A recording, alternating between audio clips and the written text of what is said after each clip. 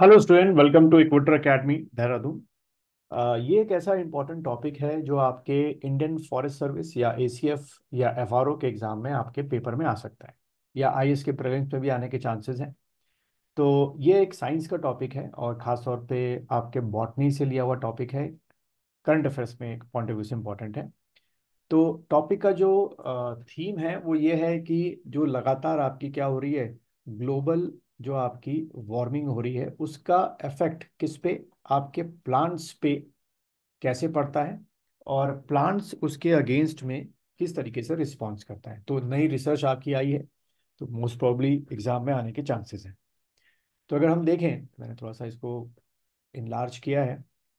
There are what microscopic pores होते हैं, ठीक? लीव्स के ऊपर जो आपकी लीव्स होती हैं ठीक है? कुछ आपके इस तरीके से आपकी जो लीव्स होती हैं, उन पे क्या होते हैं? माइक्रोस्कोपिक स्पोर होते हैं। आप उसको माइक्रोस्कोप से देख सकते हैं इन लीव्स पे। तो वो क्या होते हैं? आपके स्टोमेटा होते हैं। ये क्लास आपने किसमें पढ़ा होगा? टेंथ और नाइन्थ में पढ़ना शुरू कर दिया होगा स्टोमेटा, ओपनिंग एंड क्लोजिंग। तो ये स्टोमेटा जो होते हैं, वो क्या करते हैं? Help plant breathing. ठीक? एक फैक्ट ये आपको याद रखना है। By controlling how much water they lose to evaporation. ठीक? तो यानी कि the process of evaporation has been controlled by what stomata तो इसमें हम लोग क्या देखते हैं कि नंबर ऑफ़ जो आपके स्टोमेटा हैं, वो कितने हैं? कई लीज पे आपके जो नंबर ऑफ़ स्टोमेटा होते हैं, ज़्यादा होते हैं। तो अगर ज़्यादा होंगे तो उनमें जो ब्रीदिंग का प्रोसेस होगा, यानी कि प्लांट ब्रीदिंग का प्रोसेस होगा, वो ज़्यादा होगा। कई प्लांट्स में जो स्टोमेटा के नंबर्स होते हैं, वो कम होते हैं। तो उनमें जो ब्रीदिंग का प्रोसेस होता है, थोड़ा as compare to other plants के मुकाबले कम होता है। देन अगर आप देखो, अगला पॉइंट जो मैंने हाईलाइट किया है these stomatal pores enable and control carbon dioxide intake ठीक है? तो ये एक और आपका सेकेंड पॉइंट हो गया, ये आपका फ़र्स्ट पॉइंट हो गया। ठीक, ये सेकेंड पॉइंट हो गया कि कार्बन डाइऑक्साइड इनटेक को भी कंट्रोल कौन करता है? स्टोमेटल पोर्स और ये हमारे ह्यूमन बींग्स के या जितनी भी लिविंग ऑर्गेनिज्म है पूरी दुनिया में, उनके लिए बहुत इंपॉर्टेंट है, क्योंकि सब के सब जो हैं एज आउटपुट के तौर पे कार्बन डाइऑक्साइड को बाहर निकालते हैं तो ज़रूरी है कि कार्बन डाइऑक्साइड का क्या हो, प्लांट्स इनटेक करें एंड देन बदले में after the process of photosynthesis plants क्या बनाते हैं कार्बोहाइड्रेट एंड आपका ऑक्सीजन बनाते हैं, जो हमारे काम आती है।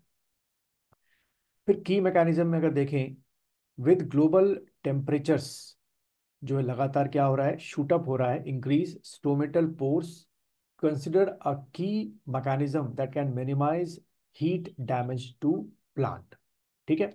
तो यहाँ से एक आपका क्वेश्चन एमसीक्यू में बन सकता है कि जो आपका लगातार ग्लोबल वार्मिंग हो रहा है या टेम्परेचर इंक्रीमेंट हो रहा है उससे जो प्लांट में डैमेज हो सकता है किसी भी तरीके का उसको बचाने के लिए प्लांट्स किस पे डिपेंडेंट होता है आपका? तो प्लांट्स किस पे डिपेंडेंट होता है? आ, ये जो लगातार आपका इंक्रीजिंग टेम्परेचर हो रहा है दिस टोमेटल पोर्स पे डिपेंडेंट होता है। ठीक है? ये आपको वहाँ पर टिक करके आना है। आ, जो आपके रिसर्चर्स हैं यूनिवर्सिटी ऑफ़ कैलिफ़ोर्निया के, उन्होंने एक पिक्चोरियल जो है व्यू बताया है कि कैसे आपके इंक्रीज स्टोमेटल ब्रीदिंग होती है ट्रांसप्रेशन होता है process in response to elevated temperature तो यहाँ से हमको क्या ध्यान में रखना है कि जब जब आपका टेम्परेचर इंक्रीज हो रहा है, तब तब आपका नंबर ऑफ़ स्टोमेटल जो है नंबर ऑफ़ स्टोमेटा है ऑन द लीव्स वो क्या कर रहे हैं इंक्रीज भी कर रहे हैं, उनका जो रेट ऑफ़ ब्रीदिंग है, वो भी क्या हो रहा है इंक्रीज हो रहा है। रिसर्चर्स बहुत दिनों तक जो खास तौर पे वीपीडी था, यहाँ से पैराग्राफ शुरू होता है, यानी कि वेपर प्रेशर डिफरेंस, ठीक है? उसको क्लैंप नहीं कर पा रहे थे, उसको समझ नहीं पा रहे ढंग से तो पर यहाँ पर लिखा हुआ है, क्या? The researchers develop a novel approach for clamping the VPD of leaves to fixed values under increasing temperature. ठीक है? यानी कि वेपर प्रेशर डिफरेंस और इंक्रीजिंग टेम्परेचर को समझने की उन्होंने सक्सेसफुल जो कोशिश थी वो अब हासिल की है। They then teased out genetic mechanism of a range of stomatal temperature response, including factors such as drought, hormone imbalance carbon dioxide sensor and ठीक है? तो वहाँ पर इनको ये पता चला है कि लीव्स के अंदर या प्लांट्स के अंदर क्या होते हैं? कार्बन डाइऑक्साइड आपके सेंसर्स होते हैं, ठीक है? कार्बन डाइऑक्साइड सेंसर्स होते हैं, वो रिस्पॉन्स करते हैं अगेंस्ट द ग्लोबल वार्मिंग या increasing temperature to cool out the stomata, ठीक है? बस ये तो ये चीज़ है।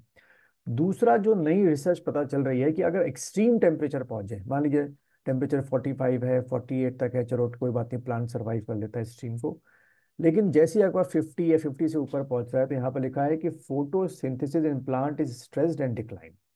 तो एक्सट्रीम हीट टेम्परेचर में आपका फोटोसिंथेसिस प्रोसेस डिक्लाइन होगी और अगर फोटोसिंथेसिस प्रोसेस डिक्लाइन होगी तो सारा जो आपका प्रोडक्शन ऑफ़ ऑक्सीजन है and intake of carbon dioxide है फ्रॉम द एटमॉस्फेयर वो भी क्या होगा? अफेक्टेड होगा। That is very scary for our human beings ठीक है?